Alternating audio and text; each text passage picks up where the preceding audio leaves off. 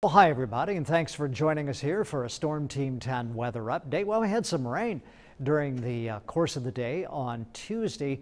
But now as we get into the nighttime hours, the rain is moving out. So the rain will be ending if you're having any lingering showers and then even some late night clearing is possible. So here's Wednesday at 9 a.m. I, I believe we'll still have the possibility of some clouds during the day on Wednesday, especially the first part of the day uh, because we've had some rain and some cooler air is coming in. So I, I believe we'll have some clouds possible. So we'll, we'll call it partly cloudy, but then we get into Wednesday night and the sky clears and then it's going to get cold.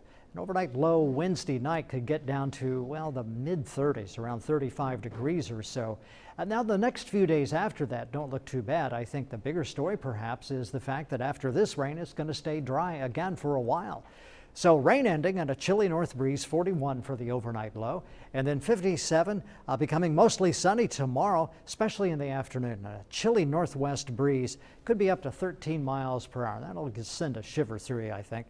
And then clear and cold tomorrow night. The breeze becomes light, 35 degrees for the low, and the seven-day forecast dry for most of the forecast period until maybe about Tuesday of next week. Then we may have to talk about the possibility of some showers, but overnight lows are going to get pretty cold, especially this weekend as they hover around the lower 30s. Weather updates always available at WTHITV.com.